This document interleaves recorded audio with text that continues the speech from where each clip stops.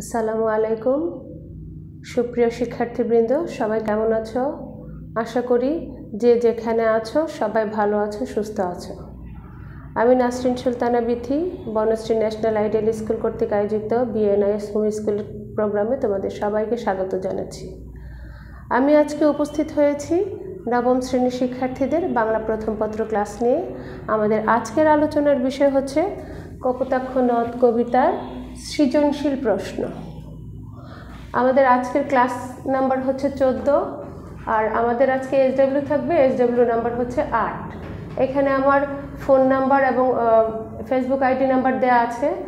তোমরা যদি প্রয়োজন মনে করো, আমার সাথে যোগাযোগ করতে পারো। যে কোনো বাংলা বিশ্বের যে কোনো প্রবলেম নিয়ে আমার সাথে যোগাযোগ করতে পারো।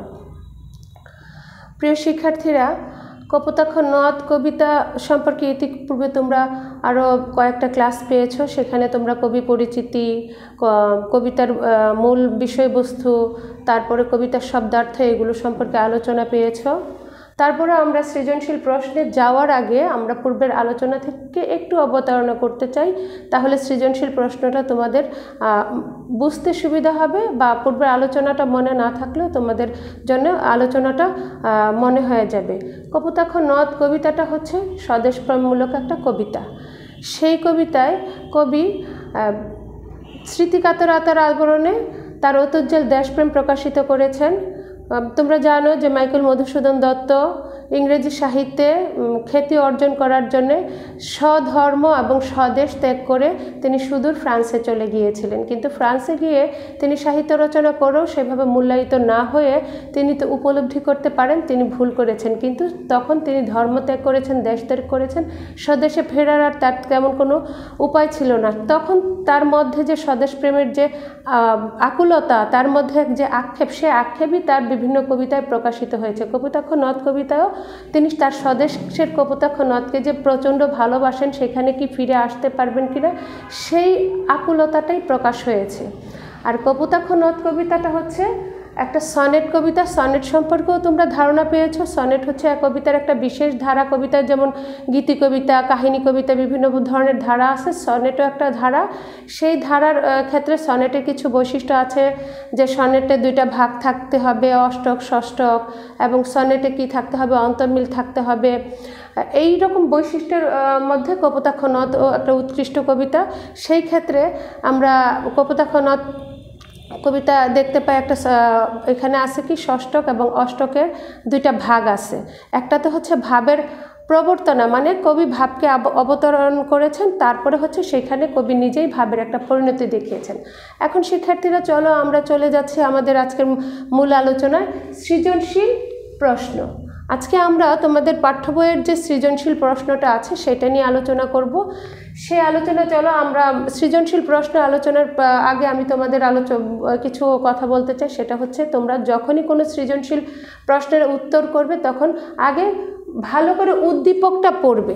উদ্দীপকটা কয়েকবার পড়ে নিজের মধ্যে ধারণ করবে, বুঝতে চেষ্টা করবে আসলে উদ্দীপকে কি বলতে চাচ্ছে এবং উদ্দীপকটা কবিতা বা ওই গদ্যের কোন বিষয়ের সাথে সম্পৃক্ত সেটাকে জেনে বুঝে তোমরা যখন বারবার পড়বে তখনই তোমাদের কিছুটা থার্টি পার্সেন্ট তোমাদের ধারণা হয়ে যাবে এবং সে আলোকে তোমরা আনসার করবে। উদ্দীপকটা বারবার না পড়লে তোমরা বুঝতে পারবে না আসলে কবিতার বা গদ্যের কোন জায়গা থেকে উদ্দীপকটা আসলে এসেছে এবং আমরা কীভাবে আনসার করব? তাহলে দেখো, চলো আমরা উদ্দীপকে চলে যাই।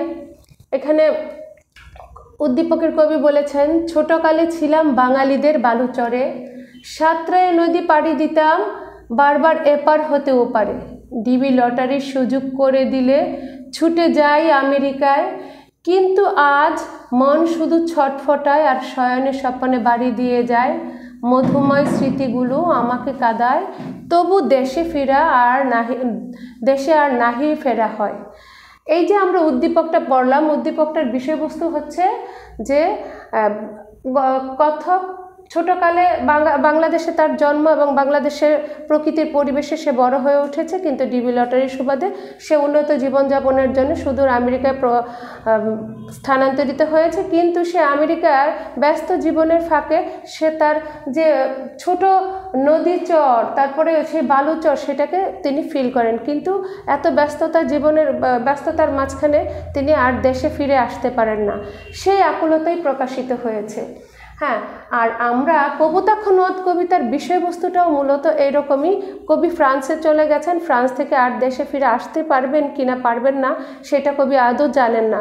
সেই কারণেই তার স্মৃতি বিজড়িত যে শৈশবের স্মৃতি বিজড়িত যে কপোতাক্ষ নদ সেই কপোতাক্ষ নদের প্রতি কবির যে ভালোবাসা, সেইটাই কবি কপোতাক্ষ নদ কবিতার মাধ্যমে প্রকাশ করেছেন।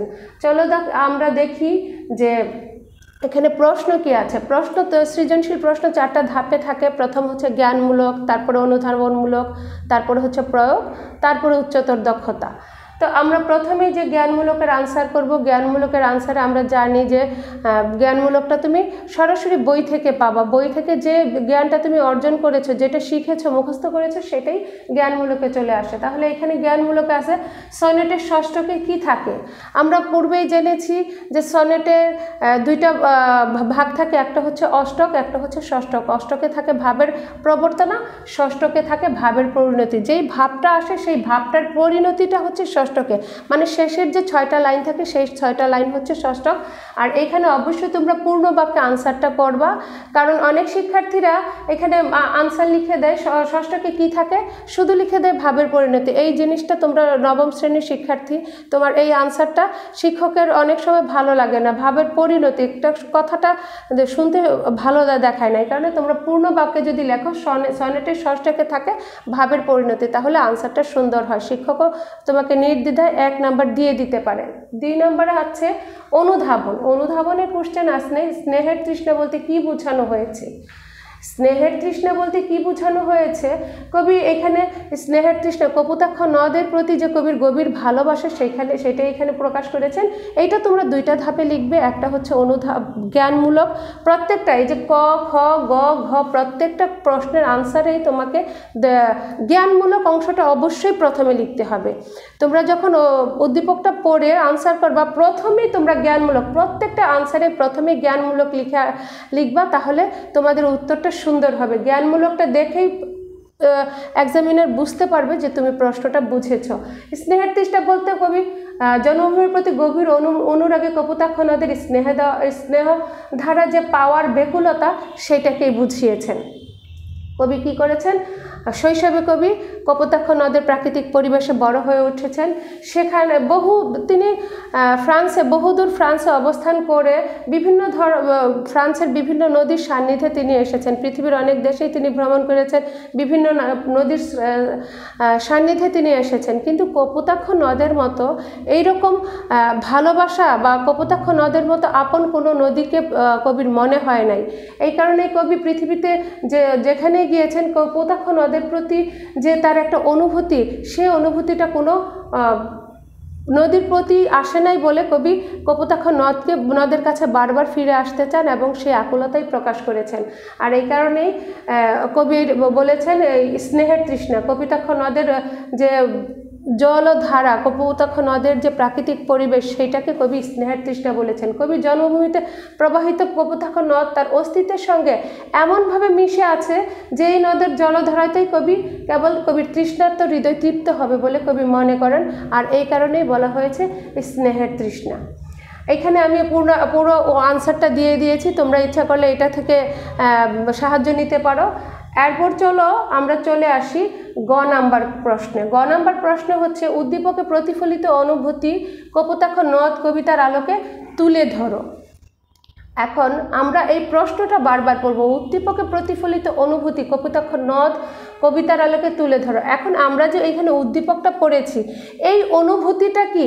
কপুতাক্ষ নদ কবিতার সাথে পুরোপুরি মিলে যায় না? শিক্ষার্থীরা, তোমাদেরকে আমি আরেকটা কথা বলছি, যে কথাটা হচ্ছে যে, গ নাম্বার কোশ্চেনের ক্ষেত্রে আমরা সাধারণত আনসারটা কীভাবে করি? কোশ্চেনটা থাকে সাদৃশ্য, বৈসাদৃশ্য, মিল, অমিল, এই ধরনের উত্তর। সেখানে কিছু শিক্ষার্থীরা, অনেক ক্ষেত্রে শিক্ষার্থীরা বলে যে, সাদৃশ্য নিচে দেয়া হলো। বা এই মিল নিচে দেয়া হলো, তোমরা এই কাজটা কখনো করবা না সাদৃশ্যর নিচে দেয়া হলো না। এখানে তোমাকে সরাসরি একটা জ্ঞানমূলক আসবে, সেই জ্ঞানমূলকটা প্রথম লাইনেই নিচে দেয়া হলো না, এইখানেই তোমাকে লিখতে হবে। তাহলে তোমার এক্সামিনার প্রথমে তোমার জ্ঞানমূলক দেখেই তোমাকে বুঝতে পারবে তুমি আসলে প্রশ্নের আনসারটা বুঝেছ। তাহলে উদ্দীপকে প্রতিফলিত অনুভূতি কপোতাক্ষ নদ কবিতাকে তুলে ধরা হলো। এটা অনুভূতিটা কি? উদ্দীপকের আসলে অনুভূতিটা হচ্ছে এই যে দেশে, স্বদেশে ফিরে আসার যে আকুলতা, স্বদেশের প্রতি যে উদ্দীপকে যে কথককে আমরা পাই, তার যে আকুলতা, সেইটা আমরা পাই কপোতাক্ষ নদ কবিতার মাকেল মধুসূদন দত্তের ক্ষেত্রে আমরা সেই জিনিসটা পাই। তাহলে এখানে জ্ঞানমূলক হতে পারে কপোতাক্ষ নদ কবিতায় স্মৃতিকতার আদর আবরণে গভীর দেশপ্রেম ও অনুরাগের অনুভূতি রূপায়িত হয়েছে, উদ্দীপকেও সেই অনুভূতি প্রতিফলিত হয়েছে। তা আমরা আসলে কপোতাক্ষ নদ কবিতায় কী পাই? এই জ্ঞানমূলকটা লিখে এটা তোমরা তিনটা প্যারায় আনসার করবে, খ নাম্বারটা তোমরা দুইটা প্যারা আনসার করবে। তারপরে এখানে কি আছে? কপোতাক্ষ জ্ঞানমূলক দেওয়ার পরে আমরা চলে আসব কবিতার বর্ণনায়। কবিতার বর্ণনায় আমরা কি পাই? যে মাইকেল মধুসূদন দত্ত সুন্দর ফ্রান্সে গিয়ে বসবাস করা অবস্থায়ও তিনি যখন দেখলেন যে তার স্বদেশে ফেরার আর কোনো ব্যবস্থা নেই বা স্বদেশে তিনি ফিরতে আর কখনো পারবেন কি না তখন তিনি স্বদেশে প্রতি যে ভালোবাসা, কপোতাক্ষ নদের প্রতি যে কবির ভালোবাসা, সেইটাই তিনি স্মৃতিকতার আবরণে কি করেছেন? প্রকাশিত করেছেন। আর আমরা উদ্দীপকে উদ্দীপকে আমরা দেখতে পাই, উদ্দীপকের কবি কি বলেছে? যে তিনিও তার যে স্বদেশের যে বালুচর, যে নদীর তীর, সেটাকে তিনি খুব ফিল করেন, খুব ভালোবাসেন, কিন্তু তিনি আর তার শয়নের স্বপনে কি সেই নদীর তীর বা নদীর যে সাঁতরিয়ে নদী পার হওয়া, এপার হতে ওপারে যাওয়া, এই জিনিসটাকে তিনি ফিল করেন, কিন্তু তার আর দেশে ফেরা হয় না। এই জিনিসটা। তাহলে প্রথমে আমরা কি করব? জ্ঞানমূলক লিখব, তারপরে আমরা কবিতা থেকে দুই নাম্বার প্যারায় আমরা কবিতা থেকে বর্ণনা করব, তারপরে কি করব? আমরা উদ্দীপক নিয়ে আলোচনা করে কবিতার সাথে উদ্দীপকের যে সম্পর্কটা, সেটা দিয়ে তিনটা প্যারায় আমরা গ নাম্বার আনসারটা শেষ করে দিব। এখন চলো আমরা দেখতে পাই, এই যে এটা হচ্ছে উচ্চতর দক্ষতার প্রয়োগ। এইটা হচ্ছে তুমি জ্ঞান দিবা, অনুধাবন দিবা, কিন্তু তোমার নিজস্ব মতামত তো ঘ নাম্বার কোশ্চেনে তুমি উত্তরের ক্ষেত্রে দিয়ে দিবা। ঘ নাম্বার প্রশ্নে হচ্ছে, উদ্দীপকে প্রতিফলিত অনুভূতির অন্তরালে যে ভাবটি প্রকাশ পেয়েছে, তাই কবুতাক্ষ, নদ কবিতার মূল ভাব। কথাটি সত্যতা বিচার করো। হ্যাঁ আমরা এতক্ষণ যে আলোচনা করলাম, সে আলোচনা থেকে আমরা কি দেখতে পেলাম? এতক্ষণ আলোচনা থেকে আমরা দেখতে পেলাম যে উদ্দীপকে যে আলোচনাটা হয়েছে আর ও কপোতাক্ষ নদ কবিতার যে মূল ভাবটা আলোচনা হয়েছে, দুইটার বিষয়বস্তুই হচ্ছে মূলত দেশপ্রেম। দুই জায়গার কবি কি করেছে?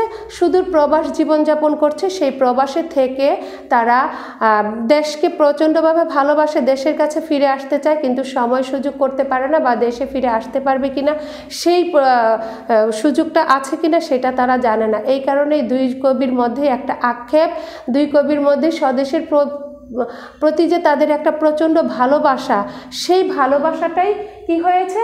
প্রকাশিত হয়েছে। তাই আমরা এখানে জ্ঞানমূলকে বলতে পারি, উদ্দীপকে বক্তার স্মৃতিকাতরকতার অনুভূতির আবরণে স্বদেশ প্রকৃতির ভাবটি প্রতিফলিত হয়েছে। কপোতাক্ষ নদ কবিতার মূলভাবে সেই বিষয়টি প্রতিফলিত হয়েছে।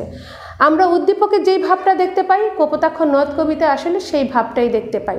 এই কারণে আমরা বলতে পারি যে উদ্দীপকের ভাব আর কপোতাক্ষ নদ কবিতার মূল ভাবটা আসলে একই সূত্রে গাথা। এই কারণে আমি মনে করি যে এই কথাটা যদি বলা হয় কোশ্চেনে বলা হয় যে কথাটাকে যৌক্তিক মনে করো বা সত্যতা বিচার করো, তোমরা এই ক্ষেত্রে বলতে পারো, আমি মনে করি কথাটা যৌক্তিক। অথবা এটা সত্যতা বিশ্লেষণ করা হলো, এটা পুরোপুরি সত্য, এরকম করে তোমরা আনসার করে দিতে পারবা। তারপরে তোমরা এই যে পূর্বের আনসারের মতো যে তোমরা কপোতাক্ষ নদ কবিতার মূল বিষয়বস্তুটাকে আলোচনা করবা কবিতাক্ষ নদ কবিতা স্বদেশ প্রেমের আবরণে কবির যে, স্বদেশ প্রেমের প্রতি কবির যে আকুল আকতি, স্বদেশের প্রতি কপোতাক্ষ নদ কবিতার প্রতি যে কবির গভীর অনুরাগ, ভালোবাসা, সেটা যে প্রকাশিত হয়েছে, সেই জিনিসটা তোমরা আলোচনা করে দিবা সুন্দর করে। তারপরে তোমরা আলোচনা করবা উদ্দীপক। উদ্দীপকও কি বলেছে? উদ্দীপকও, উদ্দীপকের কবি বলেছে যে, তার স্বদেশের প্রতি ভালোবাসা, তার গ্রামের পাশে পাশের যে নদী, সেই নদীর প্রতি যে ভালোবাসা, সেখানে সে কখনো আর ফিরে আসতে পারবে কি না সেই যে অনুরাগ, সেই অনুরাগটা উদ্দীপকেও প্রকাশিত হয়েছে।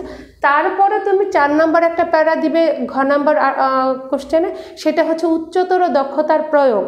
সেই উচ্চতর দক্ষতার প্রয়োগে এখানে কি বলেছে?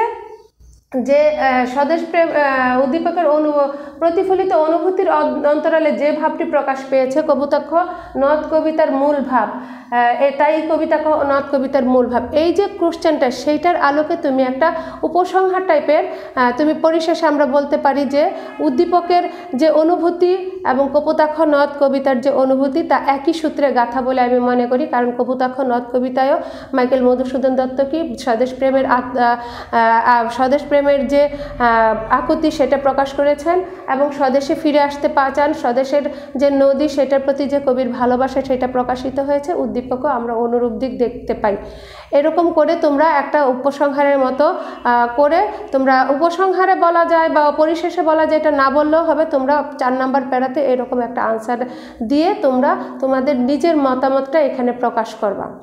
তাহলে শিক্ষার্থীরা আমি আশা করছি যে আজকে যে তোমাদের সৃজনশীল ক্লাসটা আমি তোমাদেরকে নিয়েছি, আমি আশা করছি যে তোমরা কবিতাটাও সহজ, স্বদেশপ্রেমমূলক কবিতা, উদ্দীপকটাও সহজ, তোমরা সুন্দর করে বুঝতে পেরেছ।